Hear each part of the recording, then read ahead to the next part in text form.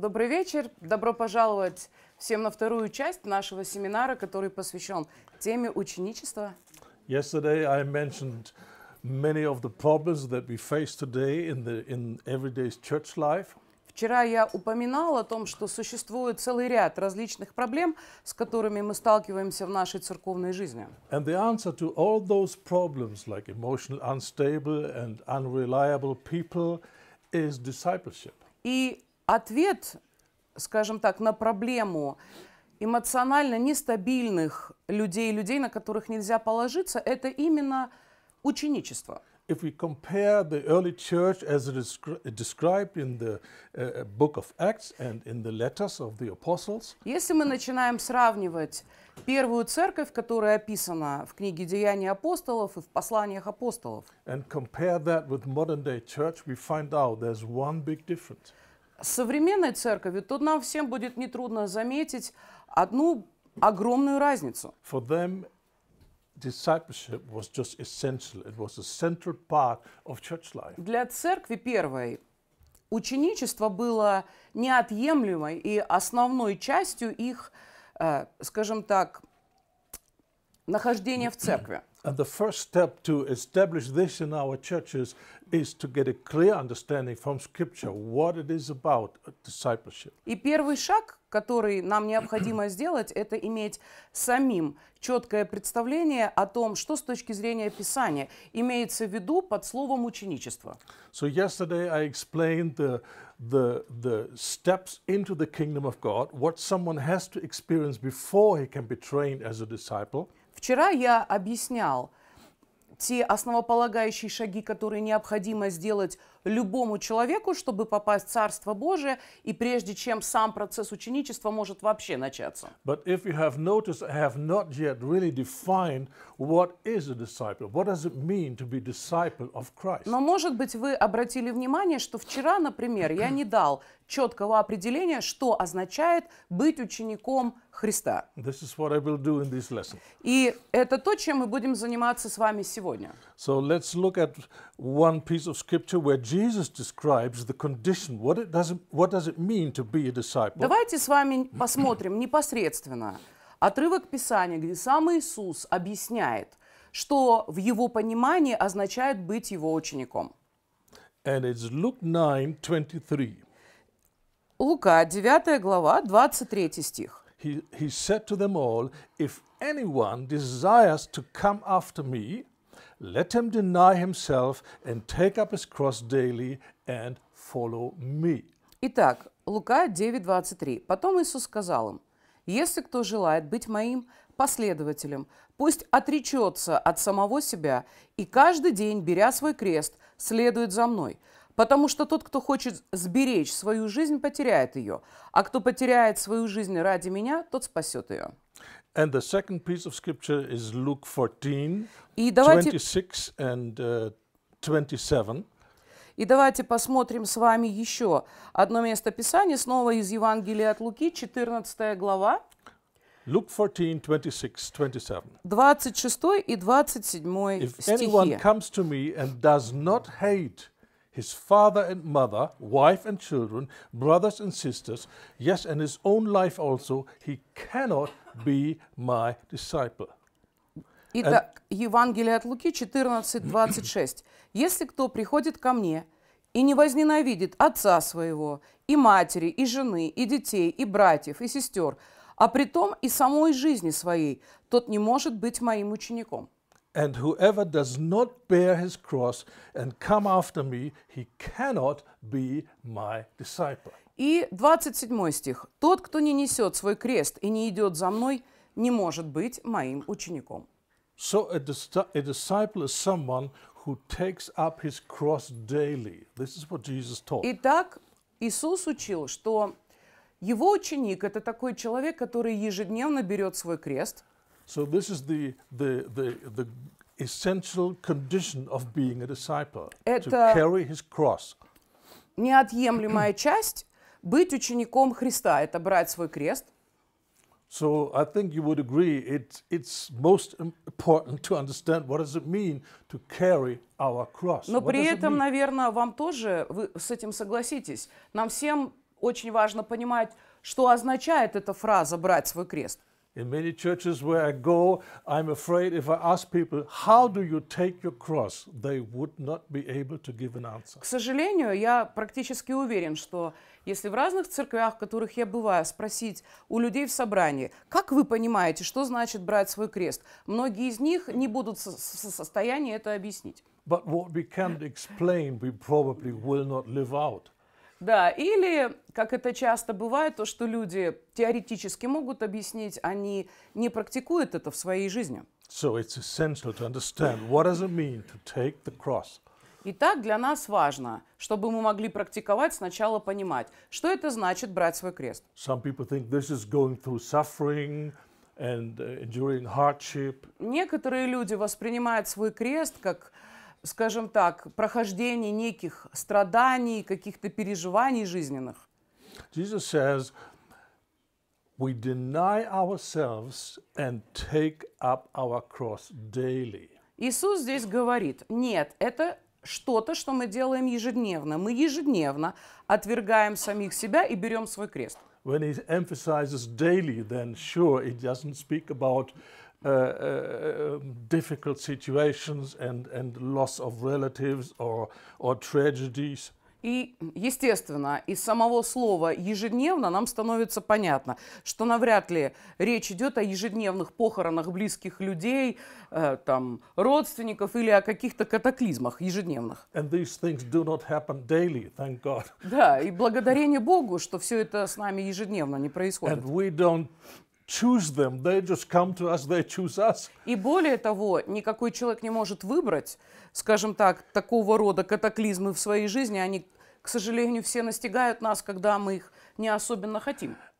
And another thing, if you, if you look at the teaching of the apostles, И еще важный момент. Если мы посмотрим на э, учение апостолов, on the first look, it doesn't have the same emphasis on the cross like in the teaching of Jesus. э, становится как-то заметно, что мы нигде не находим, чтобы апостолы налегали до такой степени на какой-то крест, на то, чтобы что-то это брать, как, например, это делал Иисус. In fact, I can remember only one piece of scripture. This is Galatians 5:24, where it says, "This is the a sign of a disciple. He has he has taken uh, he has crucified his flesh."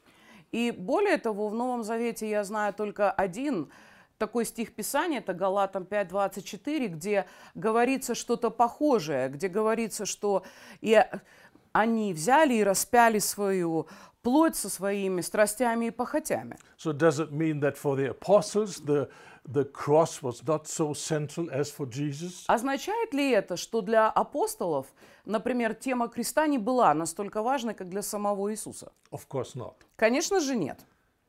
they would explain what it means to take up the cross without using many times the word cross. А, Просто апостолы объясняли то же самое понятие брать свой крест, просто другими терминами. The key is deny yourself. И ключевым словом в этом во всем является отвергнуться себя. And s- denying yourself means saying no to ungodly desires, selfish desires and goals and ways of life. Отвергнуться себя – это, во-первых, отвергнуть все небожьи планы, желания и приоритеты в жизни. So taking up the cross is, a, is an attitude Взять свой крест – это такое внутреннее отношение, which we choose every day. которое мы выбираем культивировать в себе каждый день. It's an attitude to say no to the desires and the works of the flesh Это способность говорить «нет» ежедневно делам плоти и похотям плоти, and to say yes to the walk in the Spirit or by the Spirit. и говорить «да» хождению в духе и тому, чтобы быть в нашей жизни, в наших решениях водимым духом. Let's go to Titus Давайте откроем с вами Тита вторую главу. and uh, the verses 11 and 12. 11-12 стихи. And here it speaks, the grace of God brings salvation that brings salvation has appeared to all men, teaching us denying ungodliness and worldly lusts, we should live soberly, righteously, and godly in this present world. Читаем с вами Тита 2, 11, 12. «Ведь явилась благодать Божия, спасительная для всех людей. Она учит нас отвергать безбожную жизнь и земные страсти, учит нас жить в этом мире благоразумно, праведно и благочестиво». Here, with very different words, we have the same thing deny yourself, take up your cross. Здесь, в этом отрывке, мы находим просто выраженное другими словами то же самое понятие – отвергнуться себя и взять свой крест. In order to experience the, the, the power of grace, we need to say no to ungodly uh, and worldly lusts. Для того, чтобы нам пережить Божью спасительную благодать, нам очень важно научиться отвергать безбожную жизнь и, как здесь написано, земные страсти. This is called walking in the Spirit. И это э, синоним хождения в духе. So th- the apostle taught that if a believer is not obedient and is not instructed in the word, he probably will live a life according to his flesh. Апостолы понимали, что если человек не наставлен и не послушен самому слову, то он, скорее всего, будет жить э, в своей жизни водимый своими плотскими страстями и похотями. Но всякий ученик должен научиться вести свою жизнь по духу.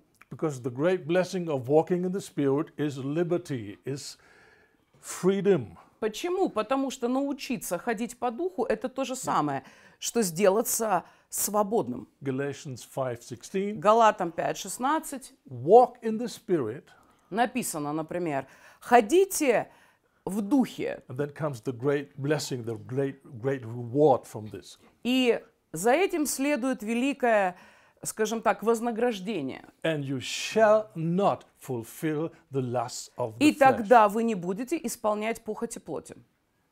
So we overcome the desires of the flesh not by fighting the flesh, but living in the spirit. И в целом мы побеждаем наши плотские страсти и похоти не, не тем, что мы бесконечно мучим и сражаемся со своей плотью, а тем, что мы выбираем и учимся жить в духе.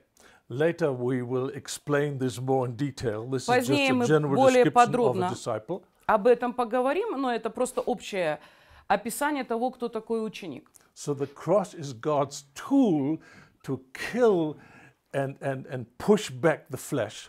И крест является Божьим орудием, которое он использует для того, чтобы, скажем так, преодолеть плоть. so that we are free to enjoy the presence of God, the joy of God, the hope, the strength, encouragement, and all Так. the rest. Так, чтобы мы могли наслаждаться Божьей любовью, Божьим присутствием, надеждой, ободрением и прочими разными чудесными вещами. As Paul says, the flesh is an enmity against God. И как Павел говорит, человеческая плоть, она всегда враждует против Бога. It doesn't want to please God, it doesn't want to obey, Никакая человеческая плоть не хочет угождать Богу и не хочет быть Ему послушна. it doesn't want to worship God, Она не хочет Богу it поклоняться. doesn't want to be thankful, Она не хочет испытывать it благодарность. always wants to be negative.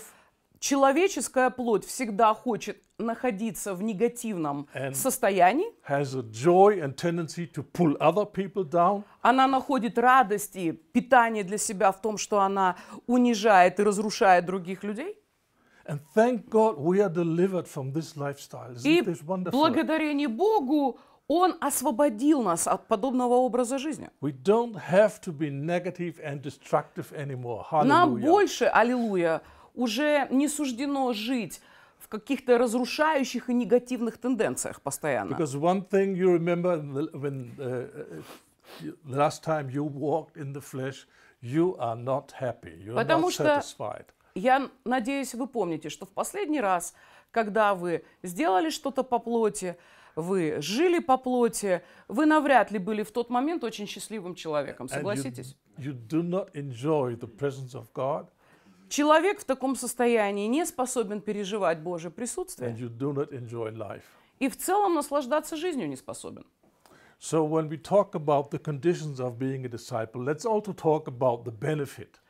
И поэтому, когда мы беремся говорить Э, Об ученичестве нам важно говорить о, скажем так, этой стороне, но также и о тех преимуществах и благословениях, которые с собой ученичество приносит. So to learn a lifestyle uh, according to God's standard is not a punishment, it's, it's a great blessing. Поэтому, друзья, научиться образу жизни, который хочет для нас Бог, это не какая-то страшная вещь, это не наказание, это величайшее благословение, которому может обучиться человек. So let's not have a negative attitude. Поэтому нам oh, очень важно не Oh. иметь и не культивировать в других людях вот этого негативного отношения. Вау, опять вот это распинание плоти началось. Друзья, благодарение Богу за то, что мы с вами можем жить теперь вне этого разрушительного влияния нашей плоти. If we study the teaching of Jesus, we find out he was never looking for believers. Если мы посмотрим на учение Иисуса, мы с вами обратим внимание, что сам Иисус лично для себя никогда не искал неких верующих. Он никогда не искал себе каких-то сотрудников, работников для себя. He was looking for disciples. Иисус всегда искал только учеников. And the modern day thinking is let's make people believers and then hope some of them will become finally disciples. И в современном христианском мире есть такая тенденция мыслить. Давайте сначала соберем всех верующих, пусть сначала люди уверуют, а потом, будем надеяться, некоторые из них хотя бы сделаются учениками. Но если вы посмотрите на новозаветную церковь, она состоит только из учеников. И их никогда не называли какими-то верующими, их называли учениками. Only many, many years after Pentecost, after the start of this glorious movement, first time disciples were called Christians. Более того, прошло достаточно много лет со времен Пятидесятницы, этого славного зарождения церкви, массового целого движения, прежде чем ученики Иисуса вообще стали называться христианами как таковыми. So, if I look at the condition of modern church, I think it's high time that believers become disciples again. И рассматривая состояние современной церкви, мне кажется, что уже остро стоит такой момент, когда верующим стоит становиться учениками. So Jesus gave this, his apostles the commandment, make disciples. И повеление, которое Иисус дает своим последователям, Он говорит апостолам, идите, и в русском переводе научите все народы, но все остальные переводы звучат так, идите и сделайте учеников. It's.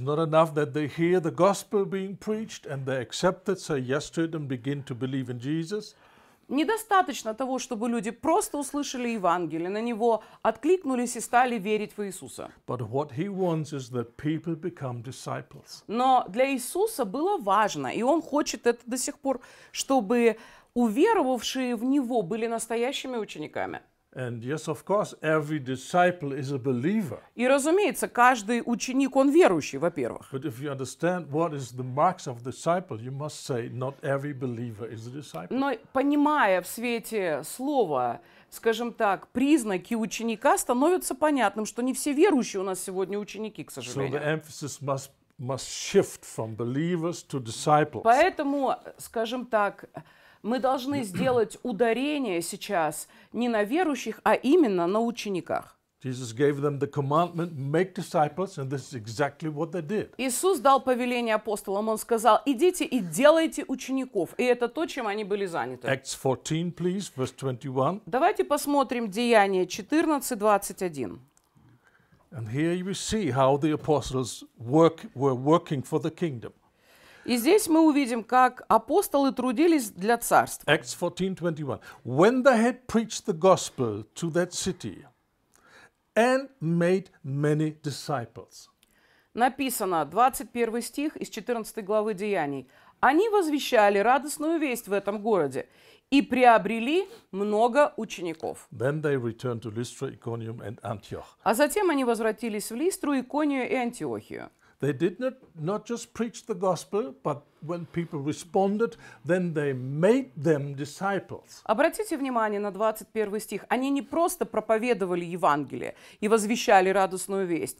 В, в том или ином городе они приобретали или делали учеников. Please look carefully at the text. It didn't say after people were converted, they prayed that God would make them disciples. Еще также хочу обратить ваше внимание на то, что когда они попроповедовали Евангелие, они не просто молились и говорили, Боже, а теперь из этих уверовавших и откликнувшихся сделай как-нибудь сам учеников. Апостолы понимали, что на них возложена эта ответственность сделать из уверовавших учеников. This is the missing thing today. И это, к сожалению, тоже у нас недостающее So, звено what is a сегодня. disciple? Итак, кто такой ученик? A disciple is someone who is being trained to live a new lifestyle. Ученик – это человек, которого научили жить по-другому. He was trained by the world, Сначала тот или иной человек, скажем так, бывает наставляем этим миром. all his understanding, what is right, what is wrong, what is good, what is normal, all this came from the world. Скажем так, вся система ценностей, понимание, что правильно, что неправильно, вытекает у людей из этого мира.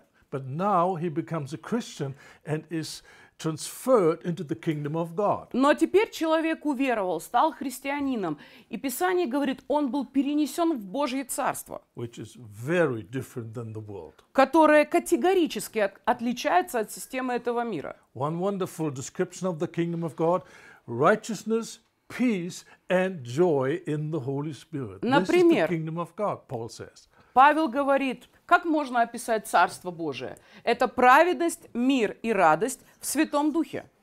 And the order of those three words is very important. Интересно, что здесь порядок существует определенный в этих словах. Without righteousness, there is no peace. Без праведности никакой человек не способен Without- переживать мир. Without peace, there is no joy. А не имея внутреннего мира, люди не могут радоваться. So a disciple is learning the, the lifestyle of the kingdom of God. И this is what he's doing. Кто такой ученик? Ученик – это верующий, который обучается новому образу жизни в Божьем Царстве. And the apostles understood it's their responsibility to make people disciples of Christ. И обратите снова внимание на то, что апостолы понимали, что им придется это делать. Им придется помогать уверовавшим становиться учениками. Почему? Потому что апостолы были заинтересованы в том, чтобы церковь, которую они строят, была победоносной, which many people. которую Бог может использовать как инструмент для спасения других людей. И поверьте, без ученичества это просто невозможно.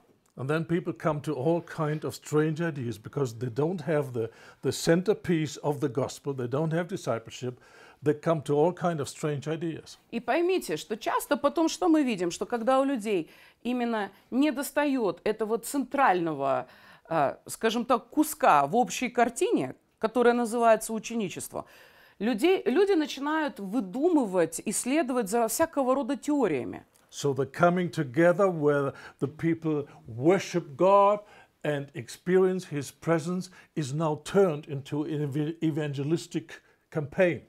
Например, скажем так, место, где собираются верующие, начинают свои сердца к Богу направлять, поклоняться. Это теперь у нас преобразовано, э, скажем так, в кампании по проповеди Евангелия, And например. the whole emphasis just shifts. И в целом основное ударение сменилось. Instead of serving God and pleasing God, Вместо того, чтобы, например, во время поклонения, когда люди собираются, мы служили, во-первых, Богу и стремились Ему угодить. they, they try very hard to make the, the Sunday service attractive for the unbelievers. Теперь мы видим, насколько в современной церкви выросла эта тенденция делать наши церковные служения чем-то очень привлекательным для неверующих. As if it were meant to be an evangelistic, evangel- evangelistic crusade. Как будто бы наши церковные собрания, когда мы собираемся служить Богу, это должно быть еще и параллельной евангелизацией, которая привлекает неверующих. In. И если хотите знать, мы ничего подобного не находим в Писании. together, Верующие в Писании собирались и поклонялись Богу. and enjoy the word and be encouraged and corrected and strengthened by the word preached under the anointing of the Spirit. Они наслаждались Словом, они переживали Слово, э, скажем так, через помазанное Слово они обличались, исправлялись, вдохновлялись. so that they can serve God even better and have more of His presence in their midst. Для того, чтобы служить Богу лучше и поклоняться Ему, и испытывать больше, больше Божьего присутствия. And because people are no longer witnesses for the gospel, for Christ, now the church service must be an evangelistic thing. И это удивительно наблюдать, потому что многие верующие как таковые уже перестали быть свидетелями Христа для окружающих людей. Теперь каким-то образом наши церковные собрания должны нести на себе функцию проповеди Евангелия. And Понимаете же, о чем я all говорю? kind of crazy things come out of this idea, this shift of the emphasis. И из этого подхода нового, когда центральные вещи, они сместились со своих мест, вытекают всякие просто удивительнейшие вещи. Someone told me he visited a church Sunday morning, and on every chair there was a piece of paper, Недавно один человек мне рассказывал такую историю, что он попал в какую-то церковь. We- И там на всех сиденьях в церкви лежал листочек, We kindly ask you not to raise your hands in worship на котором было написано следующее. Пожалуйста, во время поклонения не поднимайте ваших рук, because we don't want to be an offense for the visitors. потому что мы не хотим подобными действиями оскорблять наших гостей. Can you believe that? Вот вы представьте себе. God says, I want all men to lift holy hands in all places. Понимаете, Писание говорит, я хочу, чтобы на всяком месте, да, э, святые люди воздевали свои руки. Which includes Sunday morning service. Обратите внимание, воскресные служения тоже входят в эту категорию мест. So all kind of crazy things start to happen. Понимаете? И вот из, когда главное перестает быть на главном месте, и порядок вещей меняется, из этого начинают вытекать всевозможни- всевозможнейшие странные вещи. And it's all for one reason. И все это The происходит по одной of the причине. gospel is missing. Не хватает центральной, центрального куска картины. Believers are made, uh, turned into disciples. Не хватает этого основополагающего принципа. Всякий верующий должен стать учеником. И Let- ничего другого. Let's have a closer look at this commandment of Jesus, Matthew 28, 19 and 20. Давайте с вами э, более подробно рассмотрим Матфея 28, 19-20 стих. And he gives the commandment Go and make disciples of all nations, baptizing them in the name of the Father, the Son, and the Holy Spirit. Итак, Матфея 28 глава, самый конец главы 19-20 стих. Иисус дает им здесь свое повеление. Поэтому пойдите ко всем народам и сделайте их моими учениками. And then in verse 20, it's explained in detail what it means to turn them into disciples. Крестите их во имя Отца, Сына и Святого Духа. А в 20 стихе Иисус объясняет, 19 стих, что это по сути значит. Teaching them. Тут написано, They need to be taught the word. и учите их. Любому человеку необходимо, чтобы его учили Слову. but taught for a specific reason. Но учили для определенной конкретной цели. Not that they grow in their Bible knowledge, Их нужно учить не для того, чтобы они просто возрастали в познании Писания. but that they grow in obedience. Но здесь написано, и учите их для чего? Для того, чтобы они исполняли. Другими словами, для того, чтобы они возрастали в послушании. Teach them to observe all things that I have commanded you. Итак, 20 стих. «Учите их исполнять все, что я вам повелел». So, this is what they had to do to make people obedient followers of Christ. Другими словами, Иисус повелевает здесь и говорит, вы должны проследить за тем, чтобы уверовавшие люди становились послушными последователями Иисуса. Если мы понимаем, как это Бог делает, это не имеет никакого punishment. отношения к злоупотреблению, к злости э, и к такого рода вещам. God says, I will give you a new heart Бог, например, говорит, я дам новое сердце. and I will make you to walk in my statutes. И я сделаю так, что вы будете ходить в соответствии с моими повелениями. It's God Himself changing the attitude, the heart of His people. Это сам Бог, который производит эту смену, эту перемену во внутреннем отношении. That is very important. И это очень важный момент. As as uh, mature believers, we are only helpers in the process, but God is doing the main work. Нам очень важно тоже хорошо это осознавать, что в этом процессе ученичества мы, как зрелые верующие, мы можем быть только помощниками для Бога, но эту перемену производит сам Бог. We just help the disciple to be in the right attitude where the Holy Spirit can teach him and, and change him. Мы фактически помогаем человеку сохранять правильное отношение, когда сам Дух Святой способен обучать, наставлять и работать в нем. So when it all starts with teaching, then on the side of the disciple is necessary a certain attitude. Скажем так, возвращаясь к понятию ученичества, нам всем понятно, что это требует со стороны ученика некого правильного отношения или подхода. He must have this attitude I want to be taught.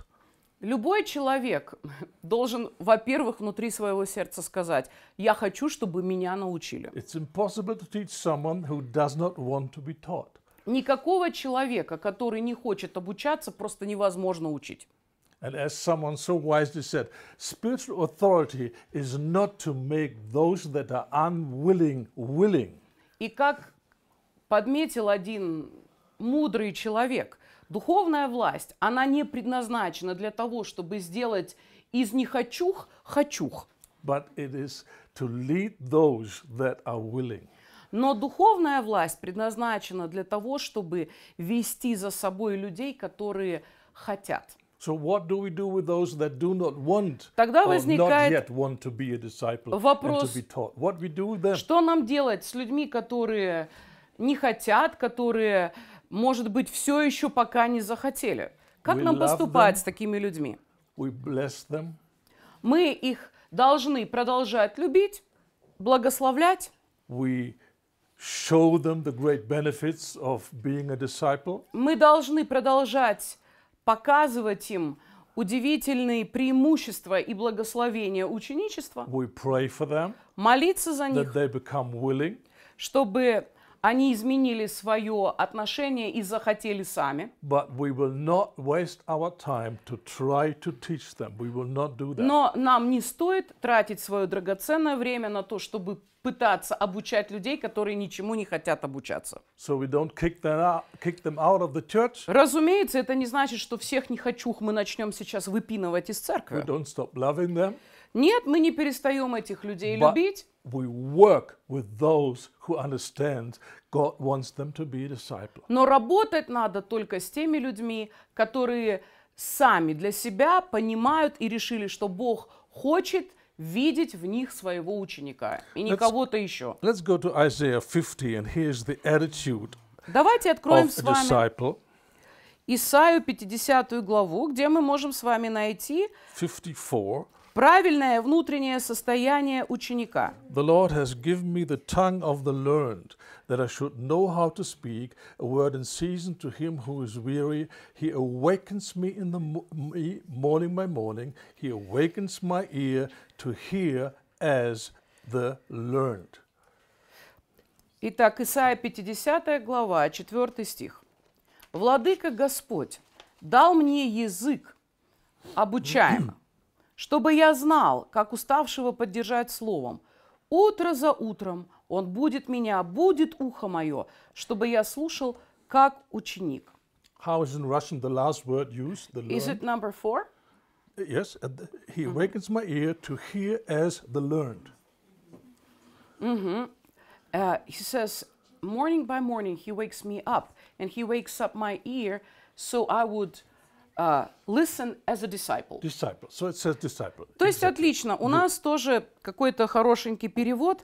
Конец этого стиха «Утро за утром». Yeah. Он будет меня, будет мое ухо, чтобы я слушал, как ученик. So a disciple is someone who is learning.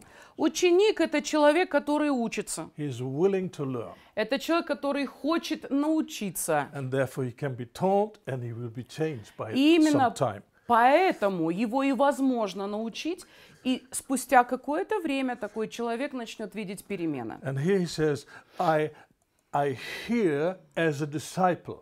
И здесь а, говорится, я слушаю как ученик. That means when the word is taught, he has the attitude, what is God saying to me? What must I understand? What must I do? What must I stop? Другими словами, когда человек с правильным внутренним состоянием ученика слушает слово, он хочет понять, что Бог говорит ему. В чем Бог хочет, чтобы человек изменился, что-то прекратил, э, что-то начал делать. Many people hear the word with very different attitude. Разные люди на самом деле слушают Божье Слово с очень разным внутренним отношением. For example, do I get something new that I never heard before?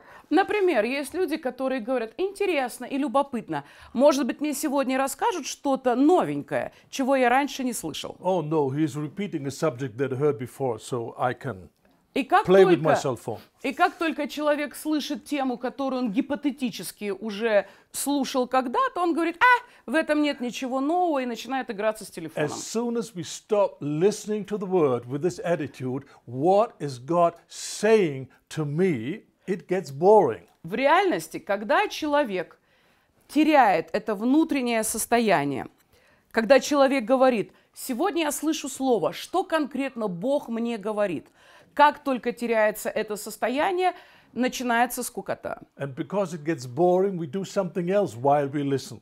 И потому что нам это становится скучным, в этот момент нам хочется заниматься чем-нибудь еще. For example, we would take certain passages of the message. Oh, this is a good word for this brother, and I hope this sister is listening. Есть And we're always busy. For whom is this? Есть люди, которые начинают развлекать себя тем, что они говорят, о, вот эту часть проповеди я бы применил вон к тому брату, а вот это точно вот для той сестры хорошо было Because we бы. are so spiritual, we know the spiritual condition of everyone in the church. И, конечно, мы-то с вами все очень духовные люди, мы понимаем духовное состояние всех братьев и сестер в церкви. Except one person, Да, только об одном мы в неведении, and that's us. о себе самих. So they cannot benefit from the word. И люди, которые сидят вот с таким внутренним настроем, они не могут извлекать So пользу the из слова. attitude to be taught, and that means to be changed. This is the condition. This is the heart condition. Итак, это очень важный момент, что желание научиться, желание услышать от Бога – это очень важная составляющая. A disciple understands God's goals for his life. Ученик также понимает Божьи цели для своей жизни. And nowadays, many people are very curious about God's plan for their life. В наши дни очень многие люди интересуются, каков конкретный Божий план для моей жизни. And whenever there's the rumor that a prophet is in town and he can tell you God's destiny, we all run there. Да, И, соответственно, как только э, мы слышим слух, пошел слух, что приехал какой-то пророк, все туда бегут для того, чтобы услышать какое-то важное пророческое слово на свою жизнь. And don't get me wrong, I believe that sometimes God is using this way to inspire you, to open your understanding of the great plans He has for your life. И поймите правильно, я, например, абсолютно точно убежден, что Бог по временам может использовать, скажем так, такой метод для того, чтобы вдохновить нас на какие-то Божьи планы в нашей жизни. Это правда. But before God leads you into the specific details of His plan for your future, Но прежде чем Бог начинает открывать нам какие-то конкретные составляющие своего плана на нашу жизнь, you need to accept, to embrace the general calling that He has for all His children. очень важно, чтобы каждый ученик Христа понимал общую Божью цель и предназначение, которое он имеет для каждого своего ученика. So let's look at some of the goals of discipleship. Поэтому давайте посмотрим с вами сейчас на общие, применимые к нам всем цели ученичества. A very general one is found in Matthew 10, 24 Матфея, например, and 25. 10, 24, 25, там содержится такое совершенно обобщенное призвание для всех нас. A disciple is not above his teacher, nor a servant above his master. 24 стих. «Ученик не выше своего учителя, и слуга не выше господина». It's enough for a disciple that he be like his teacher. Пусть ученик будет доволен, если достигнет положения своего учителя, и слуга положения своего господина. and a servant like his master. Да. The calling is to grow in Christ likeness. This is the calling. Например, этот стих нам очень ясно э, показывает, что мы должны быть счастливы и довольны, просто возрастая в похожесть с Иисусом. And if you don't find this calling exciting and interesting, И если быть как Иисус не является для нас чем-то восхитительным и радостным, I must tell you that your heart is not really with Jesus. могу вам сказать так одно, что ваше сердце на самом деле в данный момент не находится с Иисусом. И вам следовало бы покаяться и согласиться с Его целями на вашу It's a жизнь. great privilege that we are called to be changed into the image, the character, the attitude of Christ. This is the great thing. Потому что какая это удивительнейшая честь и привилегия, что мы были призваны возрастать и становиться похожими на Христа в характере, во внутреннем отношении к людям, к жизни и ко всему остальному. Просто подражать Христу. Ephesians 5:1 Paul says, "Be imitators of God." А, Как раз об этом и говорится в Ефесянах 4.1. Там написано «Будьте подражателями Христа». We are called to be imitators of God. Мы все призваны, во-первых, подражать Богу. How can this be? И мы скажем, вот это да, как это может быть? Can we learn to speak and galaxies arise? Э, Сказал и словом галактики сотворил. Ущ! No, it speaks about character. На about самом attitude, деле наше about heart. подражание э, Богу заключается в, нашем, в нашей способности быть подражателями Его характера, Его сердца и Его отношения. Paul says, the same attitude, the same mind that is in Christ shall be in all of you. Например, Павел говорит, потому что у вас, у всех должны быть те же самые чувствования, что и у Христа. Другими словами, у вас должны быть те же самые переживания и те же самые, то же сам, тот же самый характер и отношения, что у самого Христа. И потом, после этого, он говорит о смирении and Христа. describes how he became a man and humbled himself and was a servant. И он говорит дальше о том, насколько Творец всей Вселенной, он смирил себя, и он принял образ раба и сделался похожим на нас. So a, disciple is someone who learns to serve. Итак, например, из этого стиха мы понимаем, что ученик – это тот, кто, подражая Христу, учится служить другим. Serving God, Служить Богу, во-первых, uh, serving uh, uh, the, the family of God, the church, служить Божьей семье, которая есть церковь, and then everyone else. и всем окружающим людям. But most important, brothers and sisters in the church. Но самое важное, братьям и сестрам во Христе мы учимся служить. And as someone who is making disciples, we should always remember the authority w- that we exercise works through our example. Также, будучи служителями церкви, будучи людьми, которые, скажем так, помогают возрастать в ученичестве кому-то еще, мы должны с вами все осознавать, что в Царстве Божьем духовная власть работает только на личном примере, никак по-другому. When you begin to teach people and make them disciples, you will understand this. М, Когда вы начнете делать учеников и обучать людей, вы поймете это. What you do not have, you cannot give. Скажем так, то, чего вы не имеете сами, вы никогда не сможете передать кому-то еще. life, Скажем так, если вы попытаетесь какого-то человека обучить чему-то, чего не видно явным образом вас самих, очень быстро вы начнете попадать довольно в неловкие ситуации. And maybe your disciple is not that advanced and not that wise and Christianized, and they say, How come you tell me this and you don't do it? Знаете, когда вдруг мы попадаем в ситуацию, когда еще не очень хорошо обученный, продвинутый и, наста- и наставленный начинающий ученик говорит нам, а что-то я вот в твоей жизни у самого не вижу то, чему ты пытаешься меня обучить. So we need to be an example. Поэтому мы все должны помнить, что мы, во-первых, со своей That стороны does- должны быть примером. That does not mean we must be perfect. Что, в общем-то, не означает, что мы должны сделаться идеальными людьми. We will grow in Christ likeness until we die or Jesus comes back.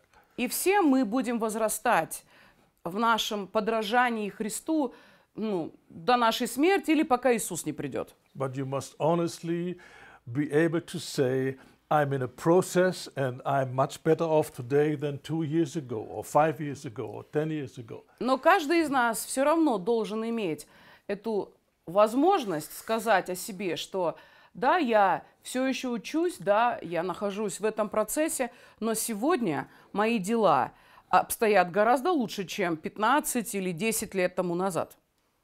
A sentence from Paul is very challenging to me. Imitate me just as I imitate Christ. Именно поэтому этот вызов Павла кажется мне таким с ног сшибательным, можно так сказать, когда Павел говорит, подражайте мне во всем, как я подражаю Христу. What a statement. Представьте себе, он имел дерзновение говорить Сам- такие вещи. In some other place, he said, What you have seen in my life, just do it, and God will be with you. Есть еще один стих Писания, где Павел говорит в своем послании, делайте то, что вы видите в моей жизни, и вас Бог благословит. My spontaneous response to such a sentence is, Lord, help me. Честно сказать, моя спонтанная реакция на такие заявления, это «Господи, помоги мне». so, a disciple is someone who is called to bear fruit in his life. А, Ученик – это такой человек, который, который призван рождать плод в своей жизни, приносить плод. John 15 8. Это Иоанна 15, 8. By this my Father is glorified, that you bear much fruit, and so you will be my disciples. Когда Иисус говорит «поэтому», потому что вы приносите много плода, окружающие люди будут видеть, что вы мои ученики. Итак, вы how God is glorified by us bearing fruit. прославите Отца моего. На самом деле Бог так и прославляется, когда ученики Христа приносят плоды. That does not mean doing great things and great in the eyes of people. Приносить плоды – это не значит делать какие-то подвиги и совершать что-то великое в глазах окружающих людей. Or building a mega church and having a fantastic building. Это когда мы строим мега-церковь, строим крутое здание, и все вокруг восхищены. Remember the first 300 years, no one, no church, and no local congregation had a building. 300 years. Надеюсь, вы помните, что а, в течение первых 300 лет у церквей вообще не было никаких собственных зданий особых. So no one could say, like in our days, let's go to church. Именно поэтому они и не могли сказать, давайте пойдем в церковь. Because they understood we are church. Потому что они понимали, что это они, церковь, we сами. have a church, we are the church. У нас нет церкви, мы сами церковь. We are living stones and we all together Мы build все- a spiritual building. Живые камни, из которых строится духовное здание. And what is the purpose of it? For God to come and live there. И зачем это здание строится? С целью того, чтобы туда пришел Бог и там жил. So the measure of God's presence is depending on the heart's attitude of each member of the congregation. И надеюсь, нам всем понятно, что мера Божьего присутствия в собрании напрямую зависит от состояния сердца каждого живого камня, от состояния сердца каждого из нас фактически. Some people have this passive consumer attitude and they would say, Oh, there was no presence of God today. The worship team was not anointed. Знаете, как бывают такие люди с очень потребительским внутренним отношением, они приходят э, на церковное собрание и говорят, ой, что-то сегодня я не переживал Божье присутствие, это безобразие, группа прославления не была помазана сегодня. Probably it was not the mistake of the worship team, it was the mistake of many in the church. Но, к сожалению, если не было Божьего присутствия, это навряд ли упирается в группу прославления. Bring- Это упирается во внутреннее состояние сердца многих членов этой церкви. Kind of. Потому что что делают люди? Они в течение недели собирают на мусорках всякую грязь этого мира, а потом тащат ее с собой на воскресное собрание. Sins that grieve the Spirit. Они тащат с собой грехи, которые оскорбляют Святого Духа. So we have all kind of strange ideas about church. Ну, Можно сказать, в современном мире у людей есть куча всякого рода странных понятий о церкви. So what does Jesus mean? We are his disciples and we should bear fruit, much fruit. Скажем так, возвращаясь к вопросу, что имел в виду Иисус, когда сказал, что так будет прославлен Отец, что его ученики принесут много плода. О каком плоде ведется речь? Речь ведется, во-первых, о плоде Духа. which is nothing else than the character of Jesus. Плод Духа – это то же самое, что характер This Иисуса. should grow in us. Это то, что должно умножаться внутри нас. Love, joy, Любовь, peace, радость и мир, and и and long кротость, и долготерпение. И все эти удивительные, драгоценные вещи, включая э, способность самопожертвования. Или воздержания, или самодисциплины, один из плодов Святого Духа. this is the nature of Christ. Это сущность Христа. And the disciple learns to make room for the Spirit to produce this fruit. It's the fruit of the Spirit. И ученик, он просто учится а, производить определенную атмосферу, в которой сам Святой Дух и производит эти плоды Святого Духа. Another piece of scripture which talks about the same thing. It's uh, Galatians 4:19 and it speaks about Christ being formed in you. И, есть еще один замечательный стих Писания. Это Галатам 4 глава, Galatians 4, 19. 19 стих, а, где говорится, что а, в нас во всех должен сформироваться, дословный перевод с английского, сформироваться Христос. Christ, his attitude, his character shall be formed in us. Что такое Христос должен отобразиться или сформироваться внутри нас?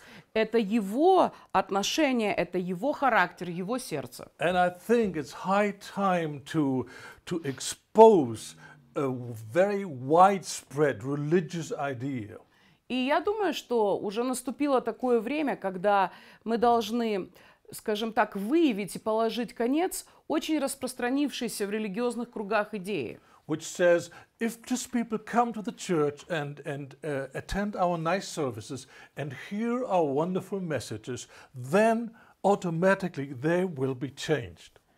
К сожалению, это очень распространенное мнение, что если только люди будут приходить по воскресеньям на наши собрания, будут слушать наши чудесные проповеди, каким-то фантастическим и сверхъестественным образом они изменятся и всему If научатся. this, if this were true, Если бы это было так на самом деле, how comes when I travel the churches in Germany, Austria, Switzerland, and other places, that I find people who are 20, 30 years old Christian and still babies?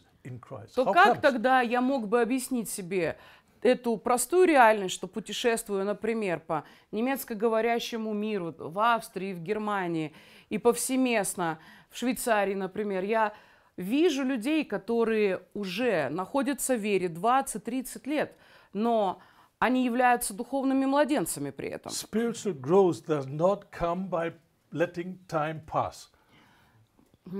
Духовный рост не зависит от того, сколько времени прошло. It takes something else. Для того, чтобы происходил духовный рост, требуется нечто большее. And let's just be realistic. И давайте будем реально смотреть. No teacher at school believes if he's just telling nice things and explaining all kind of fantastic theories that people will learn this. Например, если мы посмотрим на светскую систему образования, ни один учитель в обыкновенной школе не имеет этого наивного подхода, что по- подобного, как у нас есть в церквях, что если я просто буду людям рассказывать какие-то там теории, какие-то объяснять им э, вещи, связанные с моим предметом, они просто всему сами научатся. He does not believe that they will learn mathematics by listening to his lectures. Никакой человек, учитель, не верит, что, например, ребенок овладеет математикой, если он будет просто слушать лекции. He explains things, yes, Однозначно, любой учитель объясняет что-то. Ну а потом что делает любой учитель в здравом Now you уме? go home and you try to do this, solve this thing. Например, it. сначала учитель объясняет какую-то, например, теоретич... какой-то теоретический момент, а потом он дает конкретные задания своим ученикам, чтобы они пошли и дома на практике это применили и, например, решали задачи или примеры. Другими словами, учителя всегда дают домашнее задание, а потом они делают что-то еще сверх He того. checks whether you did your homework. Любой, скажем так, ответственный учитель потом проверяет, а ученик его сделал домашнее задание или He's нет. not naive. He doesn't say, I gave them the homework, they will all do it. Ага. Они не обладают этим наивным отношением. Ну, я же им дал домашнее задание, вне всяких сомнений они пошли и все So, до одного Let's сделали. move on to the next subject. Ага, поэтому, ну все, эту тему закрыли, давайте я им следующую теорему He объясню. checks the homework. Любой преподаватель проверяет, сделано было домашнее задание или нет. А потом еще сверх того He let them pass a test. начинаются контрольные работы. And then he finds out what they really know, what they understood, and what they can do, what they can't do. В чем заключается сущность контрольной работы? Благодаря контрольной работе можно проверить, какой материал ученик освоил, а какой нет. So, who gave us the idea? Let them just hear our wonderful sermons, and then they will all do it, and they will all grow and change, and it will just happen without any effort. Поэтому, друзья, а у нас тогда откуда взялись такого рода понятия, что мы просто будем рассказывать людям интересные лекции, проповеди, а они пойдут и сами изменятся, всему научатся, и все будет просто прекрасно. Ага. Как Иисус, возвращаясь к его повелению, он не сказал, и научите их слушать, Teach them to do it, Он to сказал, observe it. и научите их исполнять. So it's not enough just to bring the word to the people. Именно поэтому недостаточно просто даже самое замечательное слово вещать людям. We can do this in a group for the whole congregation or a whole discipleship group. Да, и это важная вещь. Нам важно слово, скажем так, провозглашать либо там на церковном собрании, либо в группе учеников. But then we have to sit down one to one. Но потом нам необходимо проводить время с людьми индивидуально And look where they are, what they do, how they live. и увидеть и удостовериться, где эти люди находятся, что они реально понимают и как они этим живут. What they actually put into practice and what they left out. Что эти люди стали практиковать в своей жизни, а что они просто а, позабыли или оставили где-то в пути. So we sit with them, we talk with them, Поэтому необходимо садиться с людьми, we необходимо с людьми разговаривать. Ой, Людям необходимо задавать вопросы. We fight. Мы узнаем, где у этих людей есть какие-то места слабости, где они больше всего сражаются. And we pray for them. И мы молимся за And we них. get wisdom by the Spirit. What is the next step that they need to И learn? мы получаем от Духа Святого мудрость, какой должен быть следующий шаг для их индивидуальной жизни.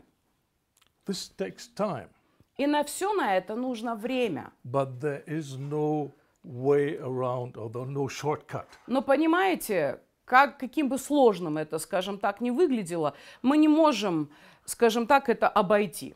When I hear pastors complain, uh, only very few people are motivated to serve, like in, in, in, in children ministry or in cleaning and this and this. And most of them, they just like to be served. А, Когда я слушаю, как пасторы регулярно жалуются и говорят, знаешь, вот у нас в собрании люди в основном очень пассивные, только некоторые хотят служить, например, в детском служении, в каких-то практических вещах, а все большинство хотят хот- хотят сидеть и чтобы им кто-то служил. And they want to convince me that they have a, a lack of workers, they have a problem with И когда мне служители говорят о том, что у них есть какая-то проблема с работниками в церкви, со служителями, я всегда им говорю, послушай, у тебя не проблема в нехватке служителей, у тебя проблема в нехватке настоящих Because учеников. servant, Почему? Потому что это одна из тех основных вещей, которым учится любой ученик. Ученик учится быть слугой, он учится помогать и содействовать в практических вещах. Serve. Понимаете, суть-то этого какая? Если у нас нет достаточно людей, готовых служить, это значит, что у нас просто нет учеников достаточно. А потом люди начинают интересоваться ученичеством. И когда мы объясняем, что необходимо и как это делается, когда я начинаю объяснять пасторам, что нужно тогда садиться с людьми и шаг за шагом проходить через их проблемы внутренние.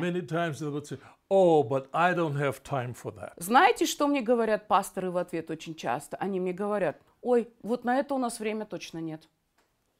I say, if you have if you don't have time for that, А я им тогда говорю, послушайте, если у вас нет времени на это, that means 10 years from now you will have the same problems. это значит, что пройдет 10 лет, а проблемы ваши останутся прежними. Maybe it takes you three, four years to, to, to make handful of disciples. Да, может быть, на то, чтобы, скажем так, сделать несколько учеников, там, 5-6 человек. Да, на это может потребоваться 3-4 года. But Но if they really become disciples, если эти люди сделаются по-настоящему учениками, they themselves will make disciples. они сами будут впоследствии рождать учеников. A disciple that is not making disciples is not a disciple. Потому что That's it. ученик, который не делает учеников, сам не ученик.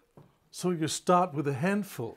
Да, и мы, может быть, начинаем вот такой процесс всего лишь с несколькими людьми, готовыми на But then это. this thing is spreading. Но потом это начинает распространяться. And I tell them, build a real New Testament church in your congregation. И я даю тогда служителям совет. Я им говорю, посреди вашего собрания, почему бы вам не открыть настоящую а, новозаветную церковь? Откройте церковь в церкви. But what must I do with the rest? А что с остальными делать? Just bless them. Ну, благословляй их.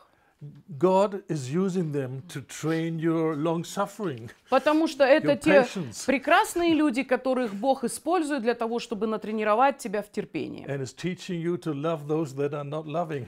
Да, и учит тебя через таких людей любить тех, которые любить не хотят в ответ или любви недостойны. So accept them, Поэтому мы принимаем этих людей. but do not spend a lot of time with Но мы не тратим свое время на таких людей. There are people that like to talk about their problems on and on and on and on and on. Потому что вы же понимаете, есть куча людей, которые все, что они хотят, это бесконечно разговаривать о своих никогда не прекращающихся But проблемах. as soon as you tell them what steps they need to take to come out of the problem, А как только ты им сообщаешь о тех практических шагах, которые им необходимо сделать, чтобы из своих проблем выйти, you will find out that they have no desire.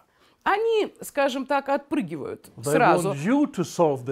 Почему? Потому что они сами свои проблемы Which is- решать не хотят. Они хотят, чтобы ты пришел в их is жизнь и решил все их проблемы. А это невозможно. Мы можем а, пытаться помочь людям, мы можем людям показать шаги, которые им надо сделать. We can encourage them. Мы можем вдохновлять We и ободрять людей, мы можем их поддерживать, мы можем их But благословлять. they must do the right. Но каждый человек должен сам принимать правильные решения. They Если сами люди ничего не хотят поменять в своей жизни, вы никогда не сможете им помочь. Потому что сам Бог не может им This помочь. Может быть, это для вас тоже несколько шокирующее утверждение. This is one of the wonder, fundamental principles in dealing with people. Но это один из фундаментальнейших принципов в нашем служении людям. God resists the proud. Бог гордым противится.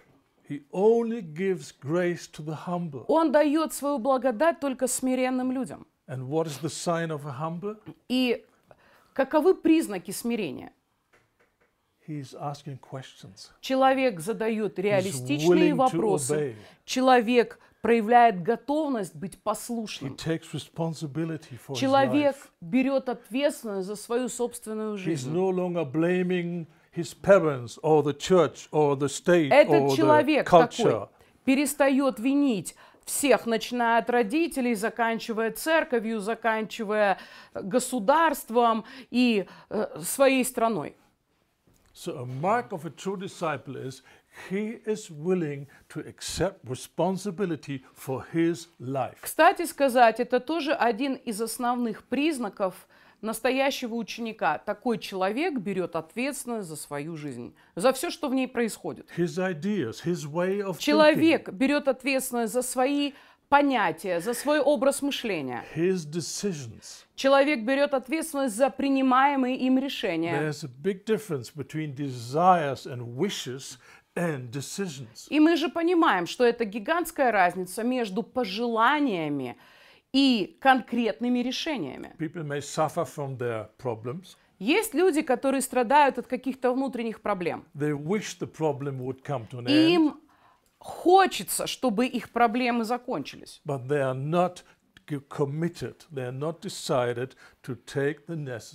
Но при этом эти люди отказываются принимать конкретные решения для того, чтобы сделать конкретные шаги. You can't help these kind of И таким людям вы помочь никак не сможете. except by shaking them. Вы можете их трясти только. Please wake up. Вы можете призывать этих This людей проснуться. Вы можете их будить и говорить, это твоя жизнь, друг. When will you begin to cooperate with God? Когда ты начнешь двигаться уже вместе с Богом? When will you open your life for God's influence to Когда change you? ты уже сам откроешь свою жизнь для Божьего влияния, для того, чтобы Бог мог что-то там изменить? When will you take steps of obedience? Когда ты начнешь делать шаги послушания? But we cannot solve the problems of people if they don't cooperate with God. We cannot. Но мы, как люди, никогда не можем помочь людям решить их проблемы, если те со своей стороны отказываются двигаться вместе с Богом. We will come to this later more in detail. Мы поговорим об этом позже, еще. Another description of a disciple. Но давайте будем дальше обсуждать, кто такие ученики. Еще одно A описание. disciple learns to love God. Ученик учится любить Бога. because he understands this is the highest goal in God's heart. Потому что он понимает, что это наивысшая цель в Божьем сердце. You shall love the Lord your God with all your heart, with all your soul, and all your mind. This Потому is the greatest and most important thing. возлюби Господа Бога твоего всей душой твоей, всей крепостью твоей, всей силой твоей, всем разумением твоим. Э, И возлюби, возлюби ближнего своего, как самого себя. Это две наибольшие из заповедей. Right now, I'm working with a little group of believers, and the question is will they be ready to become disciples? Сейчас я имею дело с небольшой группой верующих, которые должны решить для себя, хотят ли они быть учениками. And uh, so I gave them some homework. И я оставила этим людям определенную домашнюю работу, Very которую им надо things. сделать. Очень какие-то простые вещи, message чтобы они, например, послушали проповедь и выписали для себя, что им, каждому индивидуально Бог говорит. What kind of decisions now you will make. И какие решения Very последуют из этого. В общем-то, очень простое задание. And it turns out there are certain people in that group, they don't do their homework. И потом выясняется, что некоторые люди из этой группы, они, например, просто не делают то, о чем я их попросил. It's not because they don't have time. И, разумеется, это не потому, что у них времени I нет. know they have time. Я знаю, что у них есть I время. know we all have 24 hours every day. У каждого из нас есть 24 часа в сутки. У нас у всех So- есть время. If someone says, I don't have time, И, кстати сказать, каждый раз, когда вам человек говорит, у меня нет времени, the real message is, I have different priorities. фактически человек вам говорит, у меня просто другие жизненные приоритеты. There are other things more important for me. Другими словами, в моей жизни есть нечто более важное. And one one of these uh, men, he plainly said, No, I want to go out and help people. I don't have time to deal with the word. А, Интересно, что один из них даже такой довод мне сказал. Он сказал, ой, знаешь, Хартик, я не хочу сидеть вот в этом слове копошиться, я хочу пойти и реально помогать каким-то людям. So he doesn't see the need for being changed. He wants to help people. Знаете, человек nice. не видит как бы внутренней нужды в том, чтобы как-то меняться, он просто хочет помогать другим людям. Мило, конечно, This is not the first priority. но, друзья, с точки зрения Писания, God- это не наш основной приоритет. And somewhere in Mark it says, God, uh, Jesus um, called the, the apostles Написано в Марка, Иисус созвал своих учеников, Он созвал апостолов, чтобы они пребывали с Ним. and then to send them out to preach. И для того, чтобы потом отправить их на проповедь. The first thing is to be with Him.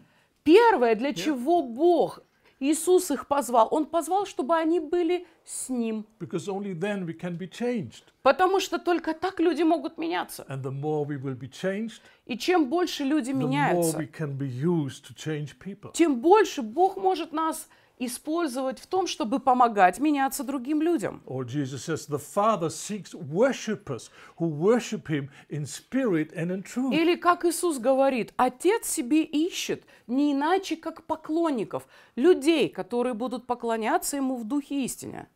And some super spiritual Christians will say, we don't have time for this, the world is lost, we need to go out and, Знаете, есть and такие- save the people.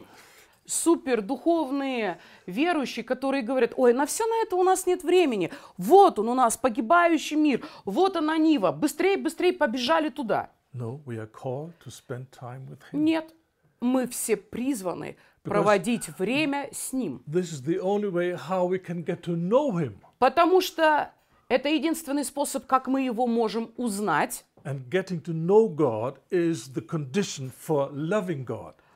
И только после того, как мы сможем Его узнать, это основное условие, как мы можем Его полюбить.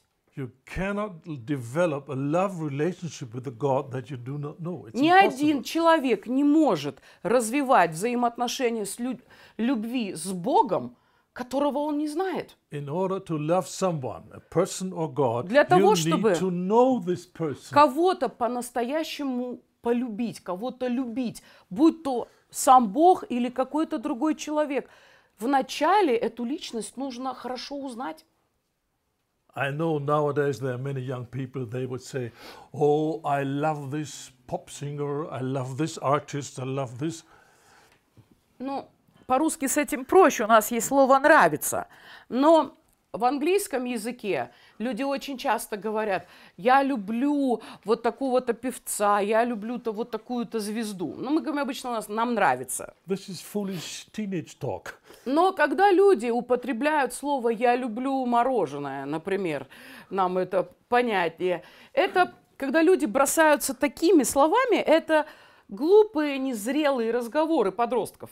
They think they have a relationship because they write comments on Facebook to this uh, celebrity. Это когда подростку кажется, что только потому, что он написал в Инстаграме какие-то комменты к чему-то профилю, у него уже есть взаимоотношения с этой звездой. But if this famous person would pass by them on the street, he wouldn't say hello because he doesn't know him.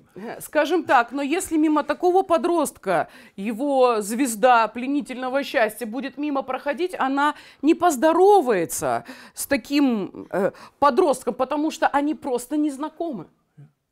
But when we are called to love God, that means we are excited, we are fascinated by His beauty, by His character. We, we think, oh, He's so wonderful, He's just excellent. Но это призвание любить Бога, это нечто совсем другое, чем то, что я описал только что. Это когда я просто потрясен, я очарован, я захвачен Божьей красотой, Его характером, всем тем, кто Он есть.